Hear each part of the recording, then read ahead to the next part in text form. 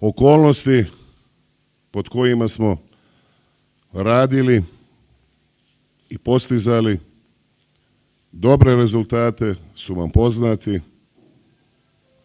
Pandemija COVID-19, ukrajinska kriza, energetska kriza, poremećaj, veliki poremećaj na tržištu cena, ali bez obzira na sve, lično sam prezadovoljan ostvarenim i postignutim rezultatima. Ono što je nama za ponos, to je već druga godina za redom finansijska stabilnost grada Subotice i to takva finansijska stabilnost kakvu ovaj grad zaslužuje.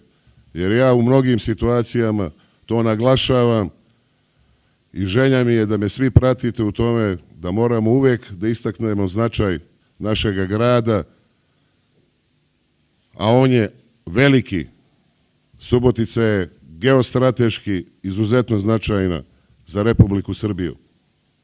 Mi smo kapija Evrope, prag Balkana. I na kapiji i na pragu uvek su stajali najbolji.